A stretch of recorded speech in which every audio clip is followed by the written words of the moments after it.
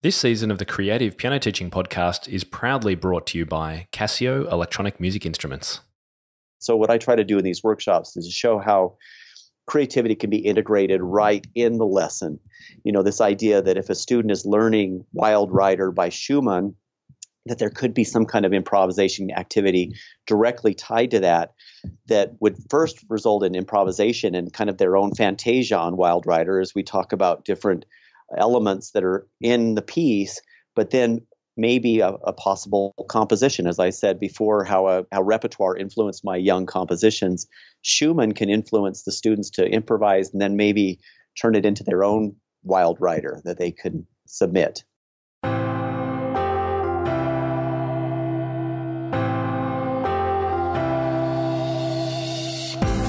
Welcome to the Creative Piano Teaching Podcast, the place where teachers from around the world meet to share innovative ideas about music education. Listen and learn as we help you motivate your students, grow your income, expand your studio, and become a more creative piano teacher. G'day, everyone. Welcome back to season one, 2018 of the Creative Piano Teaching Podcast. You're listening to episode number two. And if you're one of my inner circle piano teaching community members, a special welcome to you. My name is Tim Topham, your host for the show. And if this is your first time here, thank you very, very much for tuning in. I really hope you enjoy today's conversation and tell everyone you know about it. For those of you who have been listening for a while, thanks again, of course, for choosing to spend time with me again. The Creative Piano Teaching Podcast is a place where you can get weekly inspiration, ideas, business, and teaching strategies to help support your teaching and grow your studio. Today's show notes and a full transcript are available now at the address timtopham.com slash episode 118. As part of the 2018 podcast seasons, I'm planning to release a number of composer spotlights, which are just conversations with some of your most cherished composers about their background, teaching, and thoughts on creativity and composition. In the last couple of years, I've already spoken to a number of composers, and so make sure you check back on these if you haven't checked them out before. Daniel McFarlane from Supersonics Piano is in episode one. I spoke to Christopher Norton in episode number two. Irina Gorin of Tales of a Musical Journey. Uh, I had a great conversation with her in episode 62. The fantastic Dennis Alexander came on and actually played a whole lot of music live for us on that episode, number 64. Carol Matz was featured in episode 89 and Pamela Wedgwood in episode 99, to name just a few. There are a number of others as well. So, to check any of those out, remember that you can just grab my app on iPhone or Google Play and easily listen to any of the episodes. Just search in your App Store for Tim Topham, and uh, that's a great way to be able to check these out. You can, of course, always head to your favorite browser and just type the show name, timtopham.com, dash, uh, slash episode 89 or episode 64. And that's the easiest way to find links and the show notes. My guest today is an active pianist, composer, and member of the piano faculty at Utah State University, where he teaches piano literature, pedagogy, and accompanying. In addition to his collegiate teaching responsibilities, he directs the Utah State University Youth Conservatory, which provides weekly group and piano private piano instruction to more than 200 pre-college community students. A native of Utah, my guest began composing at age five, would you believe it? When he was 12, his composition, called An American Train Ride, received the overall first prize at the 1983 National Parent Teacher Association Convention in Albuquerque, New Mexico. He maintains a large piano studio, teaching students of a variety of ages and abilities. Many of the needs of his own piano students have inspired more than 100 books and solos published by the FJH Music Company, which he joined as a writer in 1994. Can anyone guess who it is? Of course, it is the wonderful Kevin Olson. Welcome to the show today thanks for having me, Tim. I'm so excited to finally be on uh, on the show. It's gonna be fun. Yeah, it's great. We were talking just a moment ago about how we uh, we met face to face about two years ago, and I said Kevin, you're coming on my podcast, and uh, here we are. It's taken a little while, but I'm glad to have you on the show. Oh. So, you began composing at age five, apparently. Now, that sounds mm-hmm. incredibly early to me. What, what do you think was your initial inspiration? Well, I guess for me, it never felt like I was doing anything different. It was always very natural for me. My mom is a piano teacher, and so I would I was doing the traditional lessons. But for me, I just never ever separated this idea of uh, playing literature from creating. And so it was something I was doing from a young age. She would help me notate my music probably until I was about second or third grade. And then we would be working toward these competitions uh, that I could submit and get little trophies, ribbons, you know, the kind of things that seven and eight year olds just get excited about. So I had enough extrinsic motivation to kind of keep lots of new pieces coming and and it, it, it, was fun. It was it was really kind of an exciting thing that gave me a sense of identity as a musician early on. Right. So, do you think it came from yourself, or did your mother, as your teacher, really say, "Okay, well, let's um, let's pull this piece apart, and uh, why don't we mm. try playing some chords now and things like that?" Or, or did it come somehow just come out of you?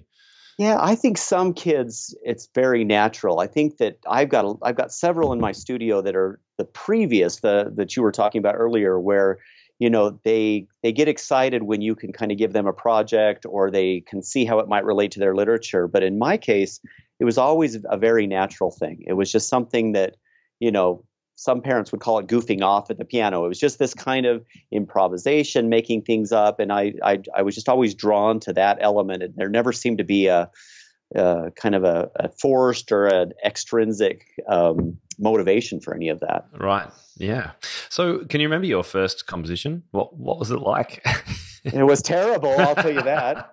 Yeah, my mom, luckily, I mean, again, my mom, the piano teacher, thank goodness, uh, kept an archive of all of these little pieces. Oh and wow! She she has one from when I was just going into first grade, and it has the very profound title of "Dance of the Baby Bullfrogs." And so, it's got this like little wrong note, uh, C major So even early on, I was really into dissonance and quirkiness and doing things against the grain without, you know. So I, no one told me that it was illegal to do that yet. That's know? great. And and did did those early compositions tend to mimic things that you were learning, uh, written pieces you were learning in your lessons? Absolutely. It's funny to go back and listen to. For example, I wrote uh, a piano concerto when I was in high school, and the first movement movement is just the biggest Grieg ripoff you've ever heard. Right. And then big descending then chords. Like, yeah, exactly. Yeah. I had the big epic, you know, minor thing going on, and a lot of the same textures and stuff like that. So, so I think that's always been an influence. Is is what you know, a, an artist or a composer that's really interested in me at the time. So when I go back and look at student works, that's always kind of fun because I can think, even if I wasn't intentionally doing it, I can even remember the pieces that were inspiring these right. compositions. Yeah. I might come back to that uh, concerto because I've got a question about that. But uh, I just want to stay yeah. with you in your early life. Uh, tell us about sure.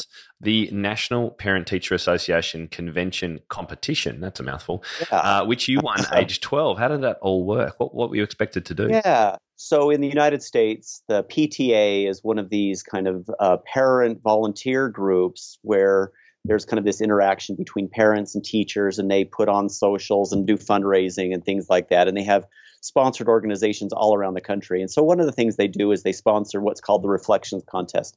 And I think they've been doing it for 40 or 50 years.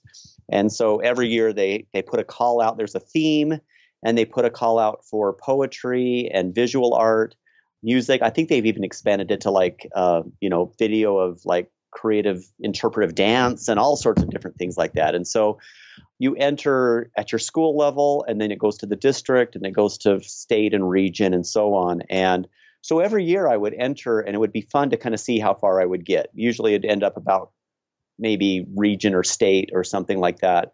Um, so when I was in sixth grade, I was at my grandparents' house. My parents would send me up there to teach me how to work. So they'd send me to the farm, let me just kind of learn how to be a, a farm kid for the summer. And so I was up there, and evidently the PTA was trying to track me down because I had been a national winner. And they finally found me at my grandparents' house and they said, You've got to get here in about a couple of weeks. Here, we need to get you on a plane, get you down to the conference, and so you can perform your piece. It was the first time I'd ever been on an airplane. And as I was telling you earlier, President Reagan was at that one that year. So it was it was in Albuquerque, which I'd never been to. So it was a really cool thing for a, a little sixth grader to be with his parents and kind of treated like a VIP for uh, for a composition. Absolutely, it would have been huge, I'm sure.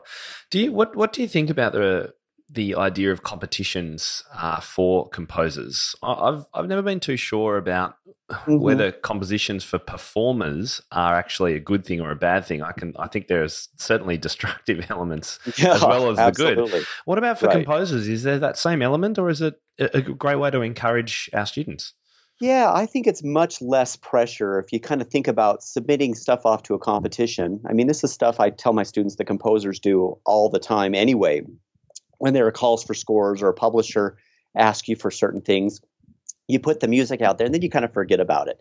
And then you see what happens. And so with my composition students, we're submitting stuff to competitions all the time. And it's not this devastating experience when they don't hear anything back. There's always you know, there's judges' feedback, and it's always usually very positive. And then when they do happen to win here and there, it, you're right, it's it's absolutely huge for them. Mm. So to me, I feel like that that you know it it if I don't have something that these kids, these composer kids, are working towards, some kind of goal, it usually doesn't happen. But if we know, for example, the National Federation of Music Teachers, their composition at the state levels due on February 1st. If we know when the PTA is going to be going on, MTNA has these composition things. It's fantastic, and uh, the kids get things ready. They send them off. There's always encouraging feedback. But I, I felt the same way with um, with performance, and so I see where you're coming from with that because it's such high pressure. You're on the stage and you're seeing the other kids, and but in composing, I think it's a lot different mm. vibe. And so, just as sort of exams could be a way of testing a performer, uh, these mm-hmm. competitions could be a great, uh, great way of uh, you know encouraging the progression towards a, a desired end for exactly. a composition student because that is often a difficult thing. I love encouraging composition in my students, as I'm sure you do. Uh, mm-hmm. But how do you sort of make it complete if they're not going to yes. perform that composition. Uh, so Absolutely. we can we can notate it. We could upload a performance to YouTube and things. But here's another mm-hmm. opportunity, um, and yeah. there are a lot of these competitions around. I'm sure. Absolutely. So, you know, just a simple Google search where you look up uh, uh, student composers call for scores, for example, there'll be all sorts of different opportunities for these kids. And what's kind of fun about them is that sometimes there's different parameters. So there might be something sponsored by a string a string quartet, something. So you know the the students may have never had an experience writing chamber music. So you know that's what also encouraged me as a young artist. That was actually we'll probably get into this. My foray into publishing was actually through a competition that was that was the national conference on keyboard pedagogy, which mm-hmm. of course you know the Richard mm. Chronister, the Frances Clarks, and so they were doing something for that at the college level, and the the prize for that was getting two pieces uh, published by a publisher. FJH just happened to be one of the publishers there, and you know the rest is history. So it also opens up a lot of doors. People get to know your works, and then even if you don't win, someone may have heard that, and then you get opportunities in other places. So right. I like planting those seeds, you mm. know, with students. Yeah. So just, just going back to that uh, competition uh, experience that you had as a 12 year old flying around mm-hmm. the world, well, not around the world, around the yeah. country, uh, yeah. and being treated like a VIP. Apart from that, how else did that win impact on your decision to become a composer later in life?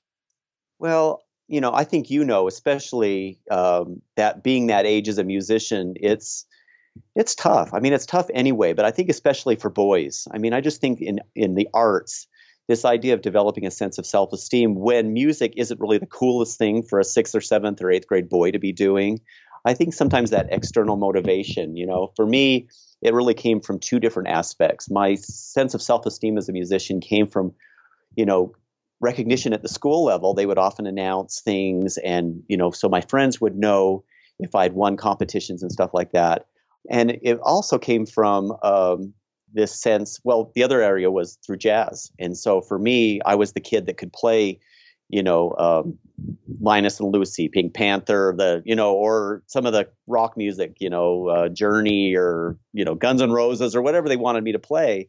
And so when i had those two things that were really motivating me as a musician that's where my self-esteem came from. I could i could hang around with my friends who were really great athletes or top students in school and I had an identity as a musician. And I think it's really important at that age that kids and especially I think boys really start to feel that someone is appreciating this or it's it's there's some kind of cool aspect to it. Right. Yeah, it's, it's, it's one reason why I'm very passionate about empowering teachers to help students uh, and, and particularly boys, as you say, to give them some uh, things that they can play that people know and that people are going to go, oh, wow, how cool is this kid?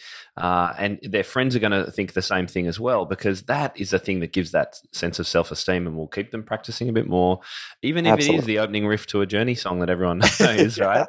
That's no, crucial. You're, you're exactly right. And, you know, we're light years ahead of where where I was at that age when I was taking piano in the 80s, and there really wasn't as much pedagogic, uh, pedagogical uh, arrangements and things that that you know even I would I would still snap anything up that I could get. But today, boy, you can find all sorts of uh, arrangements or movie themes or whatever the students are interested in that are really well arranged that can t- can tie into the other things they're doing. We do classical all the time, but especially in my studio probably is about maybe 70 or 75% boys. We really do try to find ways that we can tie in some of those interesting kind of cool pieces into the other things they're doing. Right. Yeah. Great. Uh, great tactic. Well, tell us a little bit more about your teaching and lecturing and your composing today. What's a week in the life of Kevin Olson look like these days? Well, as you probably know, the week in the life of any musician is very uh, it's very schizophrenic, isn't it? I mean, so Varied, yeah. so I am on the I'm on the piano faculty here at Utah State, and so as part of the piano faculty, I'm teaching courses in things like uh, piano literature. This semester, we're focusing in on well, we started with Beethoven, and we'll move all the way through Liszt, and then uh, I'm I, I, teach pedagogy. We're doing a, a graduate uh, Schenker analysis class, and so I have these classes that I'm working with. I've got my piano majors who are getting ready for juries and recitals and things like that. So college students. And then in the afternoon is when I teach the kids. So I have about usually between about 15 and 20 kids coming each week mostly between maybe early, intermediate, and really kind of getting ready for college auditions and things like that. Most, I think, most of my students are between the ages of 11 and 18 or so that are coming in the afternoons. I'm doing a lot of composing still. There's always work to be done, sending stuff to FJH, and we'll talk about the music club that I've started mm. uh, that keeps me composing and that. So I was just doing that this morning.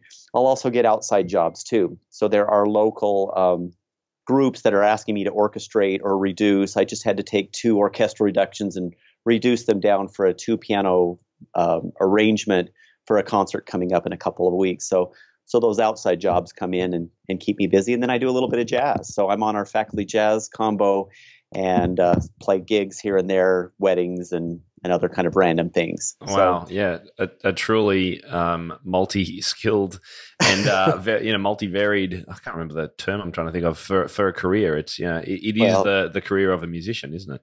Yeah, it absolutely, and it you know it's it's wonderful because every day is different. I mean, my accountant hates me because there's so much money coming in different places and trying yeah, to figure out taxes. Pain, it's right? a night. It's a yeah. nightmare, as I'm sure you know, but yeah. it's uh, but it does keep your days really interesting. Yeah. You know? So, yeah. what do you think are some of the most important things piano teachers can be doing in their lessons to encourage more Kevin Olsons to come out of their studios?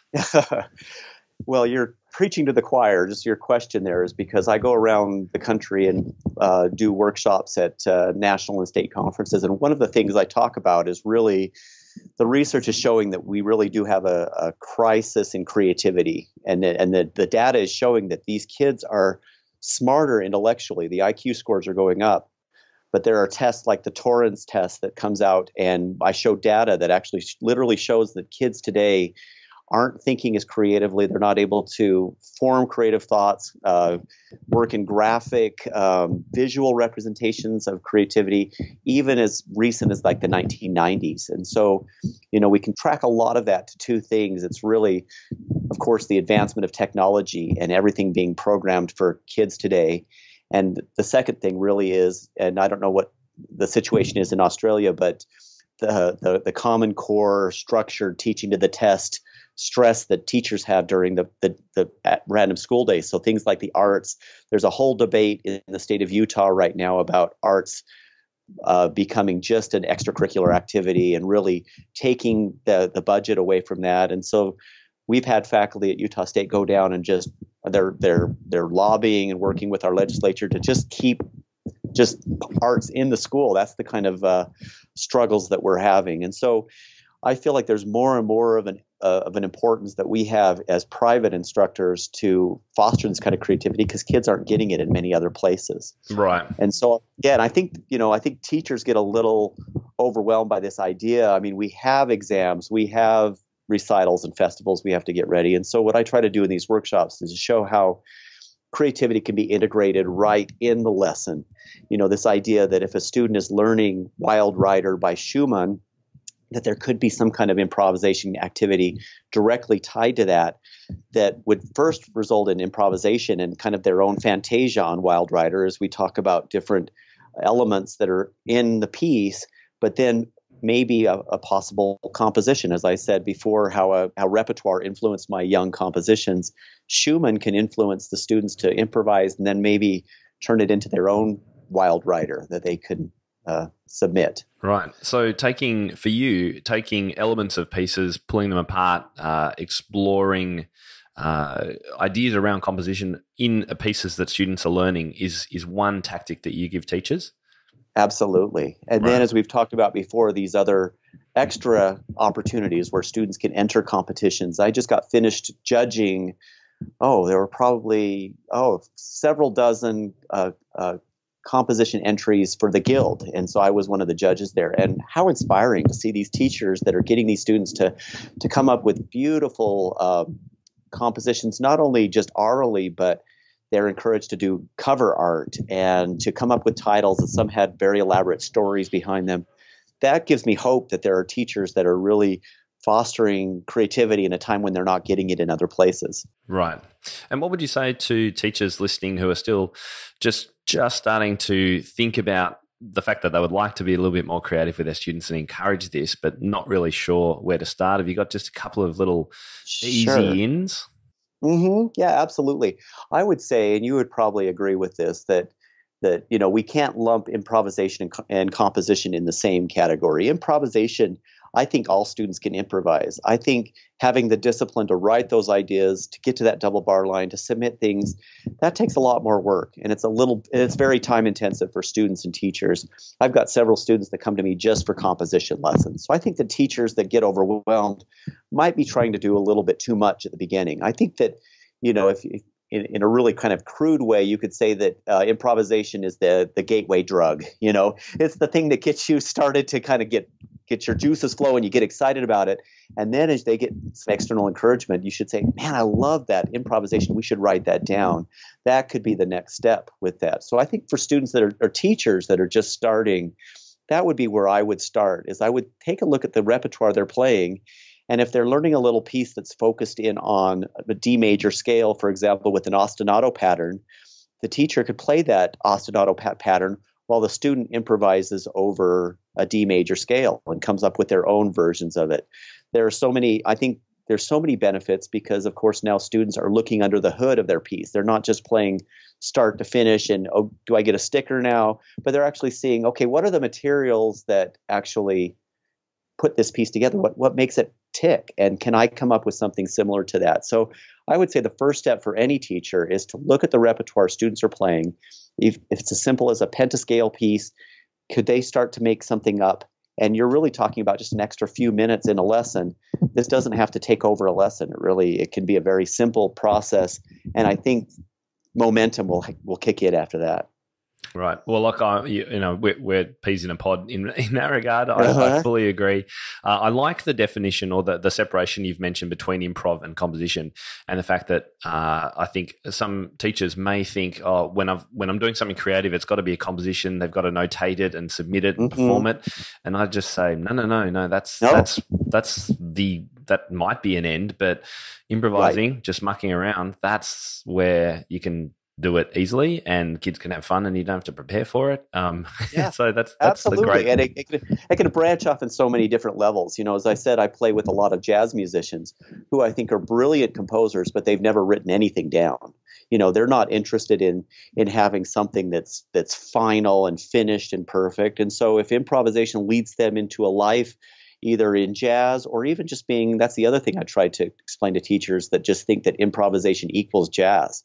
Improvisation is the big umbrella. Jazz is just one aspect. So if a kid wants to improvise on sacred music and they're really into hymns at church, for example, or or they they really love a band or some kind of movie theme or something like that. To me, improvisation is such a big aspect. To me, that is something that all students should be able to do and then those that want to have this crystallized final product that uh, and I, i'm in that category. I love to have finished products that i can go back to and archive. That's great but all kids and even adults aren't necessarily in that category. I completely agree with you. Now a quick word from our sponsor casio electronic music instruments as many of you will know, if you've been listening to the podcast for any length of time, I've been trialing out the Celviano Grand Hybrid piano in my studio, and uh, it's now become my main teaching and my own practicing instrument. And I've got to say that I'm thoroughly enjoying using it. Uh, of course, many of you will know the benefits of a hybrid piano, um, including things like uh, the recording functions you've got, the choice of different sounds, the fact that students or yourself, you can wear headphones while using it. You don't need to pay removalists to move it around your studio or house, and the fact fact that it never needs tuning and obviously limited maintenance. So they're all fantastic, but how does it actually sound and feel to play? Well, pretty amazing. Uh, and I really, I'm not a concert pianist, so to me, this is absolutely as good as a full length, normal acoustic grand piano. Uh, and it does have all the wooden keys and the normal mechanism you'd expect. So, what I would really recommend you do is head to soundtechnology.com.au to find out where your local stockists of this instrument are and uh, go and test one out today. I really believe that you'll find not only is it a fantastic instrument, but it's also at a price point that really sets it it apart from its competitors. Now, you've got a big catalogue of, of works and are continuing to make music today, as you've just said. Before I tell you some of the pieces I like, what are your top three favourite compositions that you've written? I know this is a hard one. I know it is. A, it really is hard. You know, I when I get asked that question, you know, uh, the real answer that I want to say is my favorite piece is the next one I'm going to write. You know, it's the one that is kind of out there that I'm going to strive to, but I know that's not a very good answer. And the next one's probably not quite as good either, but it's really true. And that is really my last compositions end up being the ones that I'm the most excited about because I think we evolve as artists. Maybe you felt that in certain aspects of, you know, eh, things that you archive. Maybe going back and listening to your first couple of podcasts, or oh, maybe maybe it's not maybe yeah. it's a painful experience, but it's Absolutely. kind of like and it's it's the same way with compositions. It's kind of like going back and looking at your your journal or diary entries when you're a teenager. You're like i can't believe that that is me but it sure feels like a whole different person there.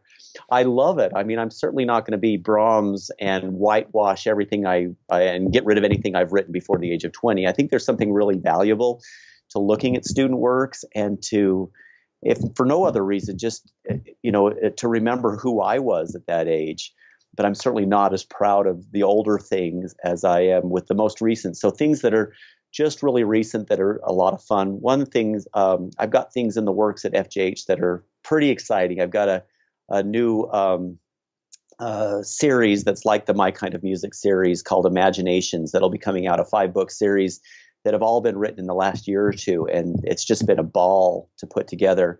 Um, I got a brand new piano quartet. So the Wyoming music teachers asked me to write something that was kind of cowboy related. So that'll be premiering at MTNA in Orlando. And so me and three other collegiate colleagues will be using that as a closer for the FJH showcase. So there's things that are, that are really kind of exciting to me that are recent. And the other things I, I look back as more of kind of as you would look at it, you know, some kind of museum or or interesting kind of zoo of my piece and and you know, but uh, but that's kind of where I'm at with with some of the most the things that really resonate with me are the things I'm yeah. doing right now. You're going to be yeah. channeling a bit of Aaron Copland in your cowboy composition. Unfortunately, it's not nearly that sophisticated. It's right. a lot more down, fun, just over the top. So I wish it was. I wish it was even in the same zip code as Aaron Copland. now, I, I, have to ask you quickly. Uh, I've always wondered when it comes to a, a, a composer writing a concerto, uh, you're composing not only something that's often quite difficult for one instrument, the piano, which is hard enough to write for, but you've got to write a full. You've got to write parts for every part of the orchestra. How? Yeah. how on earth do you do it? Like, I, it's just beyond me that uh, people can do this. Where do you well, even start is. with that? and that's where that's what's so fun about composition is that there's always that next challenge. So when I was, you know, a young teenager, I was uh, starting to write chamber music. I had friends that were playing in groups, and then I joined the jazz band, and so I would write tunes for our jazz band to play in high school. And then then that got me excited. The orchestra teacher came and talked to me, and so you know, it's just one of those things that you jump off the ledge when you get that uh, that challenge, and you kind of learn as you do it. You know, people ask about, you know, what are the good composition textbooks? What about orchestration textbooks? And my answer is always, I've always learned from scores. I mean, I just feel like I can learn a lot more by going to the library and checking out, you know, a Grieg or Tchaikovsky or Mendelssohn piano concerto and seeing, you know, where those sounds are coming from than just to read a dusty textbook about it. So that's that's where, and then it continues through college. I was just voracious with scores and I got into contemporary music. I I didn't really have a lot of experience writing really kind of contemporary avant-garde kind of things. Didn't even know it existed really until college. And then I got really excited about, you know, looking for so I still have, you know, I've got Stravinsky's Rite of Spring score. I've got a lot of Debussy scores. I've got Bartok. I've got other and I I've tried to learn techniques from all of the different music, whether it's piano solo or chamber orchestral. And I think you can learn a lot from just looking at what people have done. Yeah, that's great. My favorite pieces of yours are by uh, the My Kind of Music series. You've, you've mentioned them already. Books one, three, and four, totally love. Uh, have they been popular? Yeah, they really have. I think that, um, you know, one thing that is kind of an interesting aspect that some people don't think about is the the challenges of writing pedagogically. I mean, I think that if I had my way, I'd write everything hard. You know, it's just that's the stuff that gets me really. Now that challenges me. I sit down and improvise, and I do really hard kind of music, but really trying to, um, you know, write to a specific level, look for patterns, look for things that that would be really engaging and interesting, and not blah for a student to play. That sound harder than they really are. That have patterns it's it's it's taken a lot of years to do that. And when people come by and say, you know, I'd love you to look at pieces of mine because I think I could get into the educational publication business, that's usually the response that I have is that, you know, beautiful music, that's great, it's wonderful, but you really need to now start thinking about, you know, writing for a specific level, writing for things that would be teachable for and I think some of the best, you know, uh, one of my idols in the field is is um, Robert Vandall. I just mm. love Vandall's music because it's always really it's interesting, it's a little edgy, it's sophisticated, but when you really break it down, it's often very simple to teach. Mm. And to me, that's that's a lot harder to do actually than writing some really beautiful epic type of piece. Yeah, well, I was going to say I, I enjoy them, and my students do because they they sound modern, they sound kind of popular, pop-ish uh, and are, and are a joy to listen to as well. And so I'm wondering if, when it comes to these favorite works that we all have as teachers, uh, do you think they're often popular, most popular when they appeal to all three stakeholders of music education, which is students and the teachers, but also the parents who have to listen to these things mm. played over and over again? Do you think yeah, that's important right. too? Absolutely. I love how you call them the, the, the, three stakeholders. There really needs to be this triangular relationship and having everybody on the same page. There's nothing more motivating to me than repertoire. To me, it's the engine that keeps students going when everything else is difficult, when they're busy, when they have all these extracurricular and other things competing for their time. It's often the music that keeps them going. It was it was Linus and Lucy, it was Vince Guaraldi, it was Henry Mancini that kept me in piano when I was when it maybe didn't seem like the coolest thing to do as a sixth or seventh or eighth grade boy. I was playing my Clementi and other things like that, but this stuff, this was the the energizer that kept keeps me going. And so, if I feel like if I can be a part of that, if I turn my laptop around, you'd be able to see my wall, which is covered with letters from students from around the country and around the world that say things like, I just really love your legend of Pirate Pete. It's the coolest piece ever, signed whoever from Massachusetts.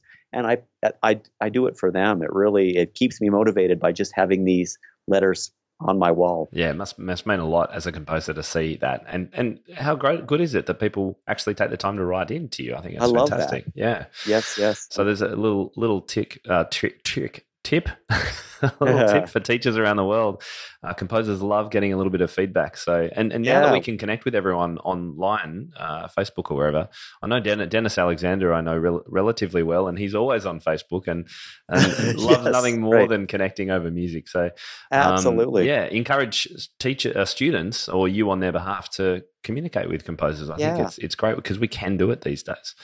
Yeah, and you know composers, we're egomaniacs. We love to hear that our stuff is good. So when a student can say that, don't feel like you're wasting our time. I'll I want to I I do respond to every email and everything that I get because I feel like that little connection that you can have with a living composer is so rare today. Mm. Students can feel like it's a living art, that we're not just in a museum playing all these dusty works from old European composers, but that this is something that's happening right around them and that they can be a part of the process too, making mm. up their own pieces. So, a quick question on your composing Do you tend to start with melody or harmony? Oh, well, I, th- I tend to think of composing as like each of these compositions is my like individual kids, uh, individual like my own children, in the fact that they're all wired completely differently. Some I can't write fast enough. They're just they just come out and it's just so easy. Others I just agonize and stress out about. Some of them start with, as you mentioned, just maybe a chord progression or a harmony, but others will be a tune or some kind of melody. Sometimes it's a concept. Sometimes it's uh, or a, a title. Sometimes it's a it's a commission. So like with Wyoming, you know, it being kind of known for the the Wild West, and uh, the you know, and it it actually has its own. Well, the university has a mascot named uh, Pistol Pete, and so I, I so I've got the Pistol Pete's Piano Posse rides again, and so that's exactly that's that quartet I was talking about. So sometimes just a concept or a title can come first, and and in many cases it's just um, you have to shift as a composer. Writer's block, I think, happens when you're not able to be versatile in the way that you compose. So, for example, if I'm sitting there stuck and nothing's coming, often I'll maybe start to improvise in a different key, or maybe I'll just uh, go over to a different instrument and just to see if you know if something could sound on a on a different instrument on the digital piano or something like that. And so, you know, I think if you're versatile as a composer, music will always happen, even when those writer blocks happen, which they do all the time. I bet they do. Yeah. Yeah. So, how did you come to be published by FJH? So, I'm walking down the hall at my university. I'm a, a freshman. I think I'm a sophomore at this point, and I see a, a sign posted on the, one of the walls that said, uh, "National Keyboard, a National Conference on Keyboard Pedagogy."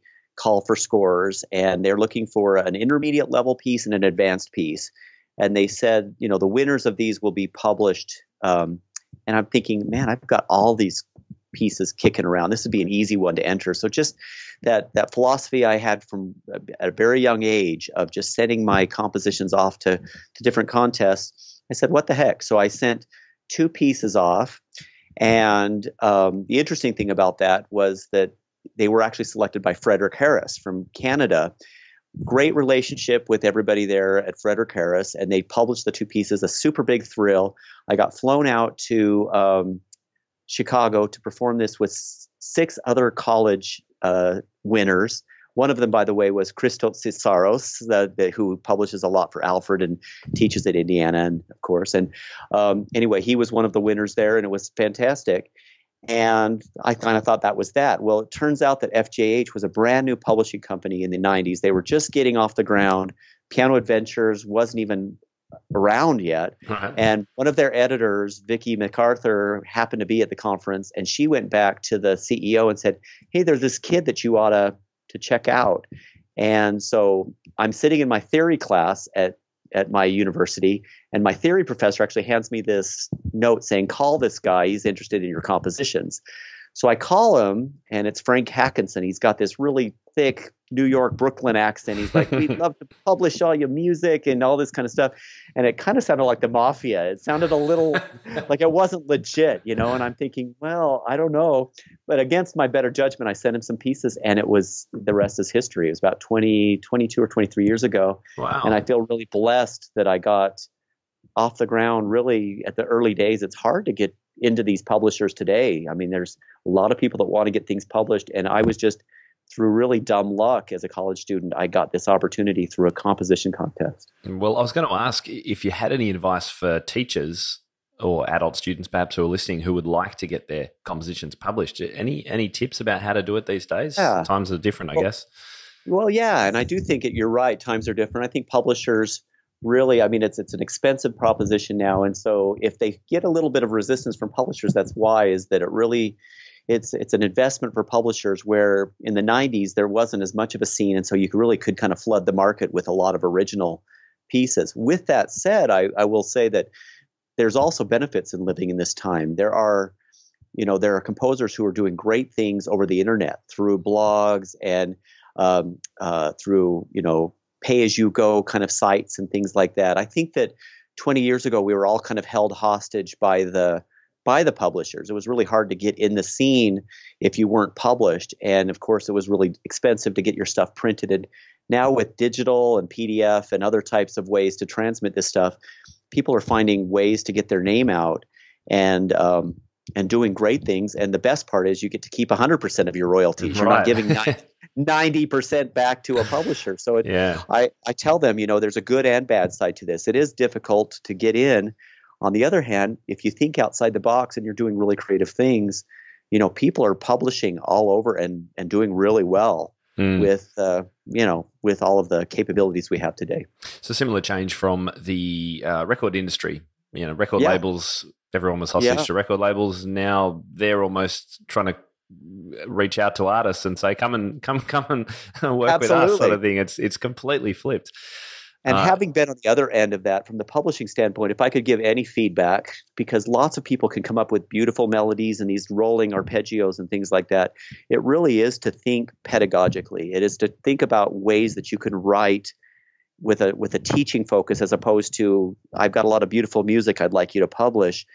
These educational publishers really the commercial aspect is going to come if you have pieces that are teachable and especially at the early levels. I think that we really get inundated from the publishing standpoint with intermediate, late intermediate, early advanced kind of pieces, which really don't sell as well as those beginning pieces. Mm. And that's the challenge. Can you write a really interesting beginning piece that you could teach easily to a first year student, maybe with an interesting teacher accompaniment, cute lyrics, great titles?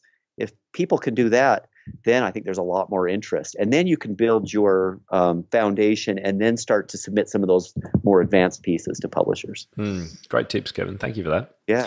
All right. Well, look, I think we'll start wrapping things up. I did want to ask you about the Kevin Olson Music Club because this is something sure. that's emerged in the last what, couple of years, mm-hmm. or has it been going for longer than that? No, it's just a, just the last couple of years, and I think it's a perfect segue because I was feeling the same kind of frustrations that some of these teachers that want to get their pieces published were feeling. Even as a published composer, it takes so long to get your pieces published, sometimes several years to get things. That, so I, I was noticing things kind of sitting in the production pipeline, and you know the production company has their their process and things like that. So I was actually at an MTNA conference with my wife, and she wakes up in the middle of the night. She says, I've got the idea. How about if you start a subscription club where you're writing three pieces for teachers directly every month for a subscription fee? And there's a couple of really great things that happened with that. One is that I finally I got motivation to compose.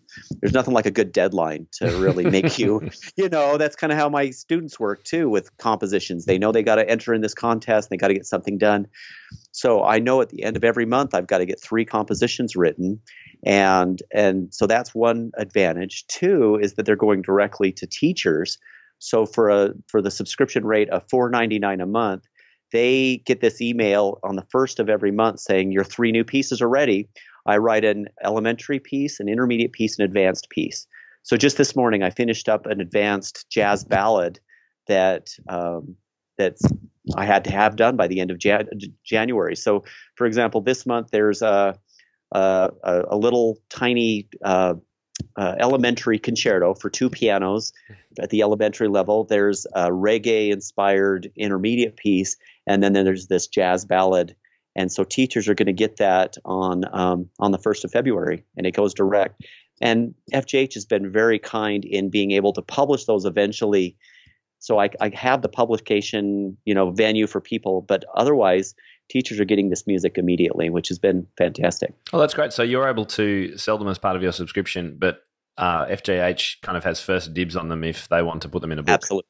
Nice. Yes, and that's, oh, that's where I was talking about these imaginations, these this five book series. A lot of those have come from the the club. Oh, great! Because I was really feeling like I was losing momentum. I mean, when you write something and you're not sure if it'll be published in the next couple of years, it's hard to get a, as a composer getting that uh, inspiration or motivation but now I'm kind of being forced to really, and it's great. And so a lot of compositions that probably wouldn't have existed otherwise through this club. It's been wonderful. Oh, that's great.